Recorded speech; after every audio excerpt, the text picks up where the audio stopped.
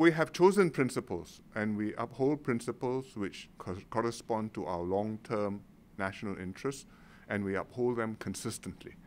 And one of the fundamental principles which we have always upheld has been the territorial integrity, independence, and sovereignty of nations and freedom from being attacked by other countries, which is enshrined in the UN Charter.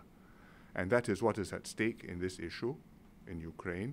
And that is what is at stake every now and again when such an incident arises between different countries and it goes to the UN, or even if it doesn't go to the UN, when the issue arises, we take a clear stand.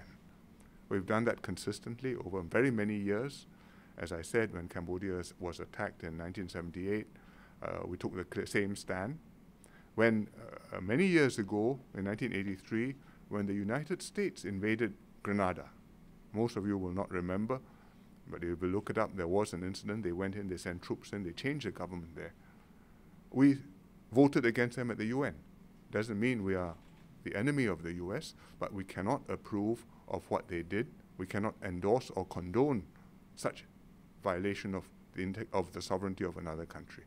And that is the reason why we have stood up on the case of Ukraine